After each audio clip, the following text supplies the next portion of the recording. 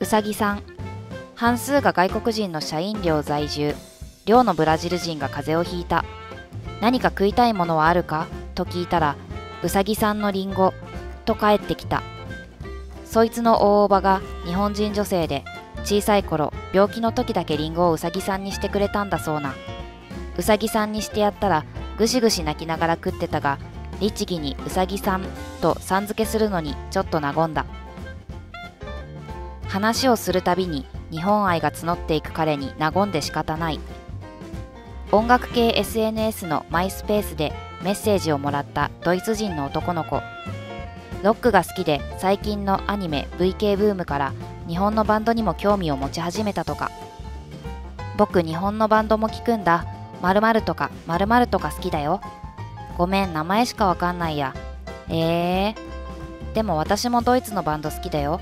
最近は〇〇とか〇〇とかよく聞いてるかな？ごめんわかんない。うーん。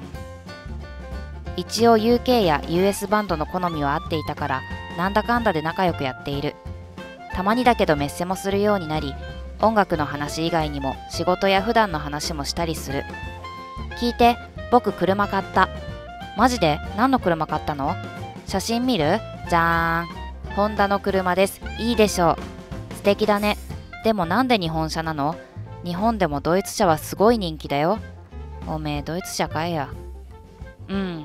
ドイツ車も悪くないんだけどやっぱり時代は日本車だよ。だって以下20分にわたっていかに日本車が素晴らしいか熱弁してくれました。